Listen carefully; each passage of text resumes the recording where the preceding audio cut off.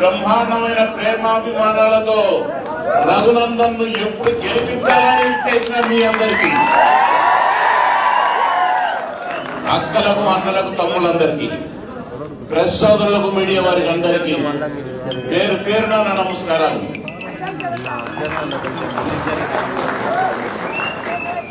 మీ భవిష్యత్తు బాగు చేయాలనే ఈ ఉప ఎన్నిక వచ్చినట్టుంది.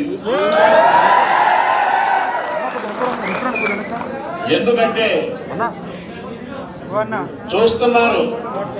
బంగారు తెలంగాణ వచ్చింది. ఇక చూసుకో. అలా చూసుకొని ఏమేమో కథలు పెట్ట కథలు అన్నీ చెప్పారు. మీ పరిస్థితి ఎలా ఉందో మీ పక్క కాన్స్టిట్యున్సీలు ఎలా ఉన్నాయో మీకు అన్ని తెలుసు. ముత్యం రెడ్డి గారు ఉన్న కన్నుని నేను చూస్తున్నా.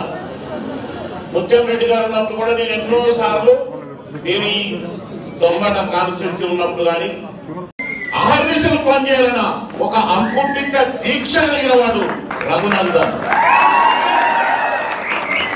అలాంటి నాయకుడిని మన నాయకుడిని చేసుకుంటే అంతో ఇంతో మంచి జరుగుద్ది మేలు జరుగుద్ది. మీకు ఎన్నెన్నో ఉపకారాలు జరుగుతాయి. అందుబాటులో ఉంటాడు. మీరు ఎప్పుడు పిలిస్తే అప్పుడు కలుగుతాడు. అలాంటి లీడర్ కావాలా? ఫామ్ హౌస్లో ఉండి యాన్లో ఉండి చుట్టూ ఈ ప్రహరీలు కట్టుకొని నాకు నిర్మూలన తెలిసింది ప్రగతి భవన్ కంట ఆకాశం అంత గోడ ఎత్తుతున్నారంట మళ్ళీ దాన్ని కరెంట్ పెడతారంట. వాళ్ళ లీడర్లు అంటారా? దాక్కుండే వాళ్ళ లీడర్లా? ప్రజల మధ్యకు వచ్చి ప్రజల అవసరాలు తెలుసుకొని ప్రజల కష్ట సుఖాలు చూసి ప్రజల కన్నీ చూడమగలిగిన వాడే లీడర్ కరోనా వచ్చింది బాబోయని మొత్తుకుంటే జనం దాక్కుంటారు చెట్లల్లా. వాళ్ళు లేడల్లా? నేనున్నా మీకేం కాదు? కరోనా వస్తే ముందు నాకు నాలుగంట మీ బదులు నా ప్రాణం ఇస్తా. అనేటోడు లీడర్ అలాంటి లీడరే మన రఘునందన్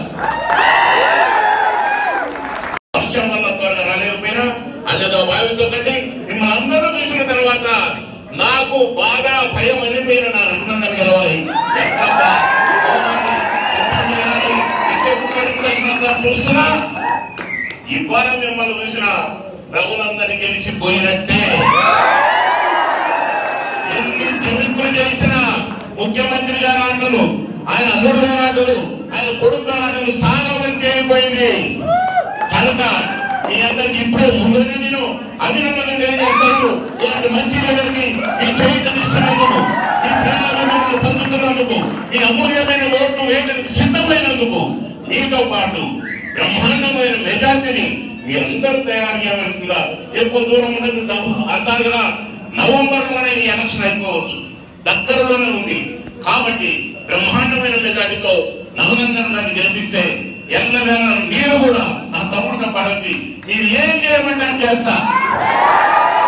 కేసీఆర్ మాట కాదు బాబు మోహన్ మాట తెలియజేస్తూ భారత్ మాతాకి భారత్ మాతాకి కమలం పువ్వు గుర్తుకే